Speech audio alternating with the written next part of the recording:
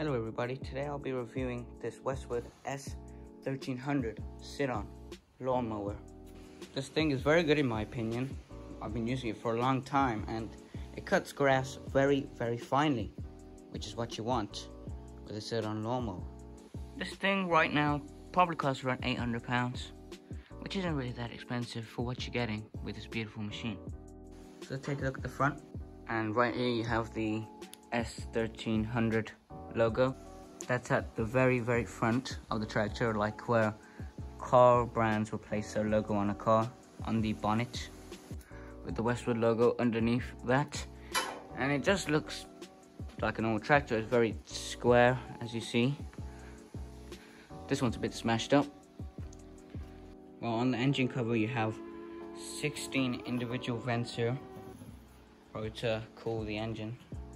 You can open that by pulling this thing up or using the top of the engine to just lift it up like that.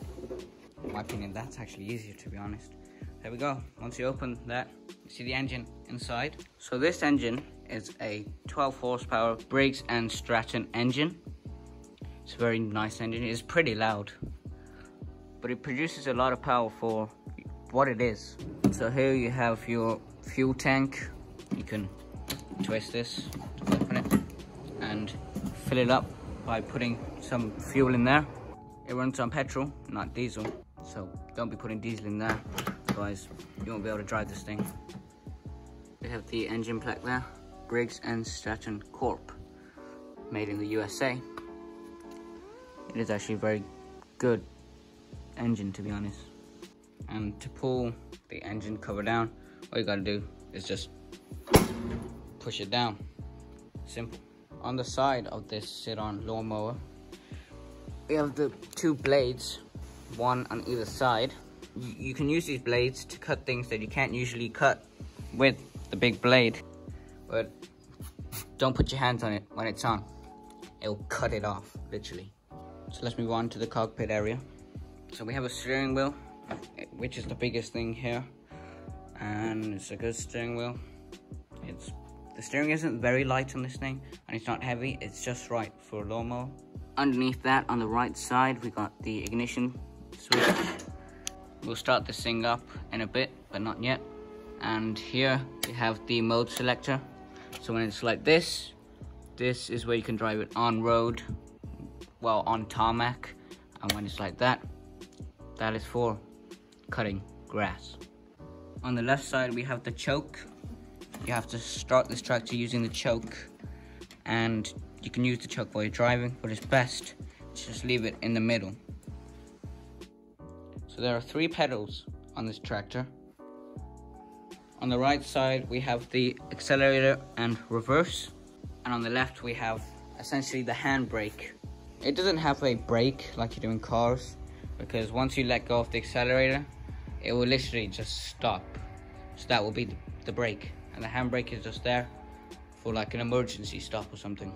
So on the right side underneath the chair, we have the trimmer. This is where you can choose how thick or thin you want the grass to be cut and how long or short it would be. And next to that is if you want the roller down or up, just keep that down. It will make your grass cutting even better. So we have the seat here. It's all right for cutting grass. It's quite comfy. And underneath that, you have a little storage area. But on this tractor, it's taken off. So you lift the seat up by just pulling it up to get access to that storage area. When you want to put it down, put it down. So let's take a look at the back of this sit-on lawnmower. So this is where all the grass gets collected.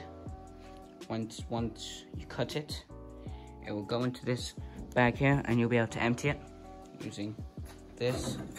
Take a look at how you do that.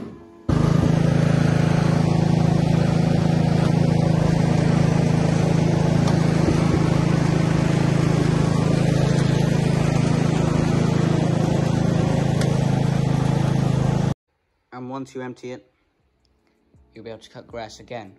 But once it's full, you'll see this on the ground once you're cutting the grass, so you'll know if it's full, because you'll see that.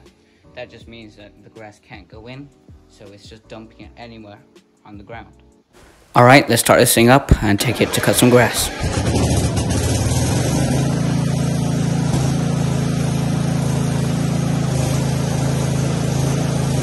Let's just reverse it out of here and we'll be able to get going.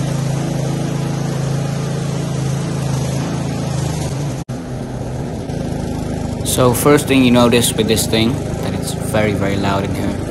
But once you drive it, you get used to it, so your ears won't be deafened as much as it will be on the first try.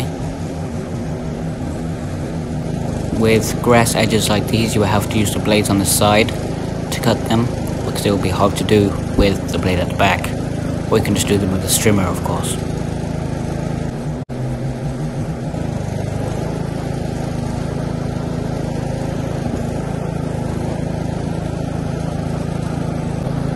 So let's get going. So the first thing that you notice with this tractor is that it doesn't react with bumps very well. If you go over a bump, the steering will go funny and you will go in a different direction than you want it to be. So always keep your hands on the steering wheel otherwise your grass cutting won't be that good. You would have to go over the line of the bit where you just cut just a bit so you can get your cutting technique just right. Because if you don't do that, there'll still be a little bit of uncut grass in between the two lines where you've just been cutting the grass.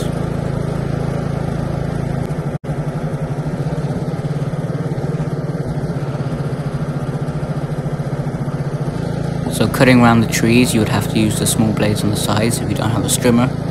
If you have a strimmer, just use that. It'll be much easier, I'm telling you.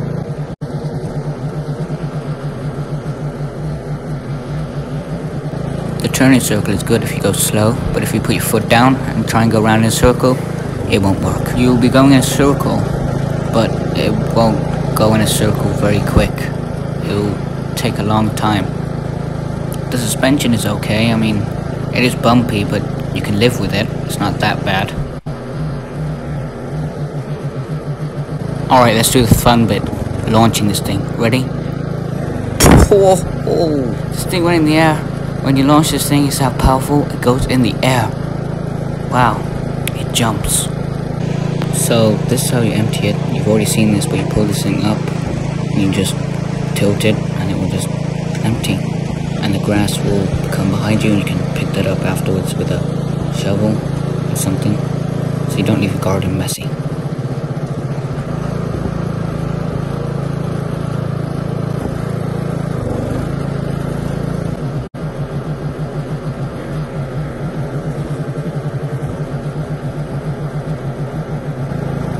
This thing cuts grass very quickly compared to lawnmowers that you have to push, but that's a good thing. You can also have some fun in it sometimes as well.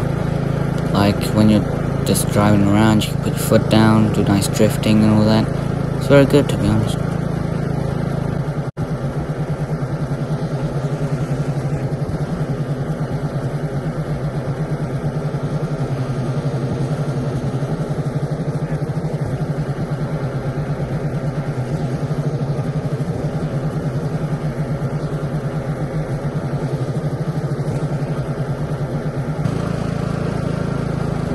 Bumps aren't that bad if you cruise, but you will need to drive fast so you can do the job quickly. But if you drive slow, the job won't be done quickly. But the bumps aren't really that noticeable when you drive at a slow, steady pace. Let's try and take the pins here. But you see this thing is very, very maneuverable. The visibility is very good at this thing so you can tell whether you're going to hit something or not. Very, very good.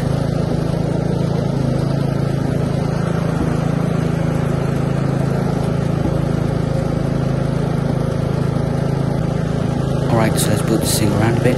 See how we can drive very quickly. See if it's stable, see if it drifts around, let's see.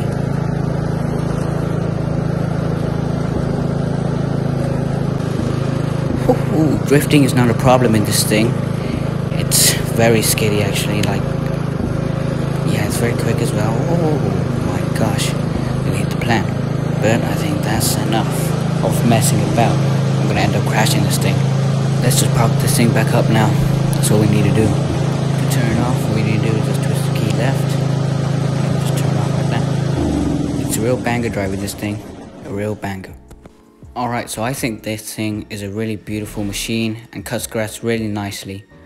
If you're looking for a sit-on lawnmower, I think you should buy this one as this is really good and really beautiful in all its ways. So, thanks for watching guys, and I'll see you later.